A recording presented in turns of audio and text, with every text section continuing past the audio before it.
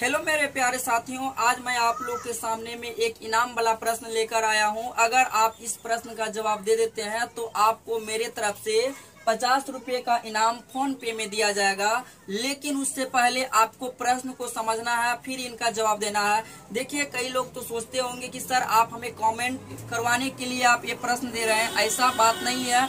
अगर आप हमारा प्रश्न को समझ करके जवाब देते हैं तो मेरा कहने का मतलब है कि आपका बुद्धि का विकास होगा।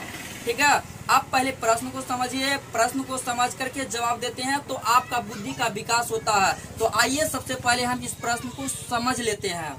हमारा प्रश्न क्या है कि एक आदमी था और एक औरत था और दोनों एक साथ प्राणपुर का बाज़ार जा रहे थे।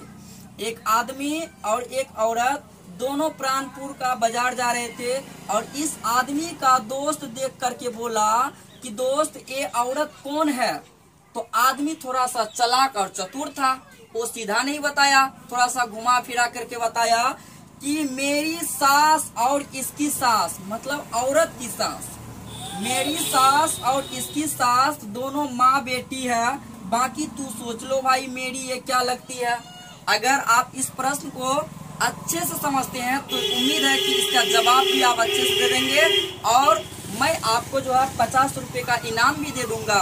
आप मेरा नंबर नोट कर सकते हैं। मेरा नंबर है eight zero eight four three nine zero double nine five. फिर से मैं इस प्रश्न को एक बार रिकॉल कर लेता हूँ कि देखिए, एक आदमी था और एक औरत था। दोनों साथ साथ प्राणपुर का बाज़ार जा रहे थे। इसका दोस्त देख करके बोला कि ये औरत आपकी कौन लगती है? तो आदमी थोड़ा चतुर था तो घुमा फिरा करके बोला कि मेरी सास और इसकी सास दोनों माँ बेटी है। बाकी तू सोच लो भाई, तेरी ये क्या लगती है? इनका जवाब दीजिए, आपका जवाब का इंतज़ार रहेगा। Thank you